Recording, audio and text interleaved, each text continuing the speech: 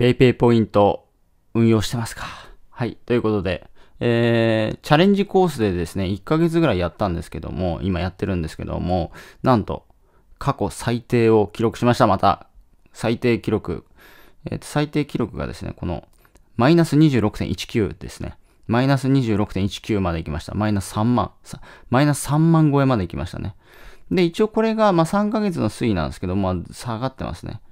まあ、これは、下ろして入れて、下ろして入れてみたいなや、まあ、前、前にやってたんですけど、こう4月からずっと、4月の初め、4月多分2日ぐらいからずっとやってて、で、今5月の、これ収録日が5月9日なんですけども、5月9日ですね。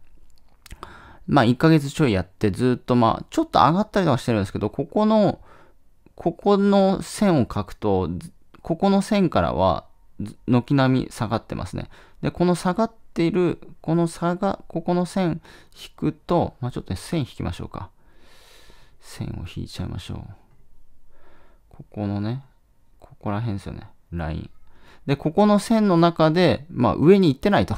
全く上に行ってなく、ずっと下がってます。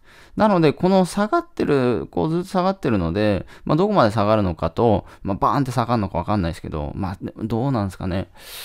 まあ今、マイナス26.19%です。で、今後どうなるかわからないですけども、まあちょっとね、えー、様子見ていこうかなと思います。